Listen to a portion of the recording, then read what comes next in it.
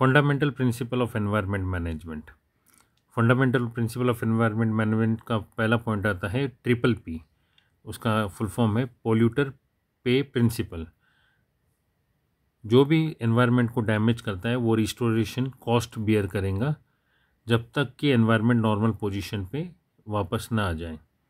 Who damage should pay the fine as well as the restoration cost to bring the environment at the normal position of restoring is also added in P P P that is polluter pay principle benefit क्या है इसके pollution prevention होगा limit to use of environmental resource होगा और avoid destruction in international trade अगर limit रहेगा तो distortion नहीं रहेगा इंटरनेशनल ट्रेड के लिए।